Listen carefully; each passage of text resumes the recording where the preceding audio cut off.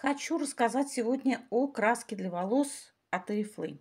Вот она приходит, это ее содержимое коробочки. Она приходит в коробке. В такой коробка запечатана в пленочке.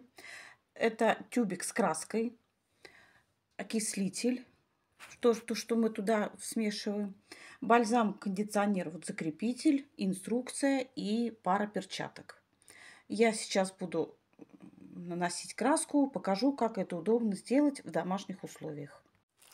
Вот так с при помощью кисточки и расчески можно самой себя покрасить. Как я это делаю? Ну, я, конечно, делаю всегда это в ванной. Но сейчас я вам начну, просто покажу, а потом уже результат увидите. Оно очень легко, удобно наносить на волосы.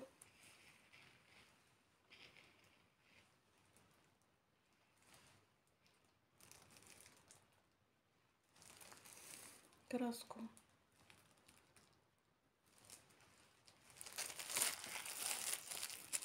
И кисточкой все распределяем. Вот что получилось. Ну, немножко испачкала тут. Встретимся через 30 минут. Ну, продолжим. Прошло 30 минут. Ну, не 30, конечно, я голову уже высушила. Вот я покрасила волосы. Краски я использовала две. Я всегда использую 5.0 это коричневый и 3.0 это темно-коричневый.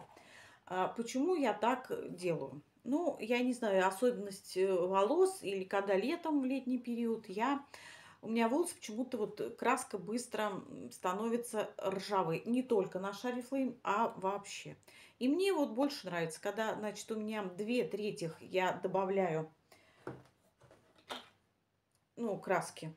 5,0 и 1 треть у меня 3,0 и тут темно-коричневый. Это вот у меня такое получается сочетание цвета. Мне очень нравится.